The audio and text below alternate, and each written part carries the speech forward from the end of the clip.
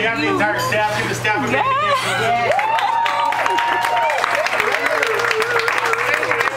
The option, they're ready to go.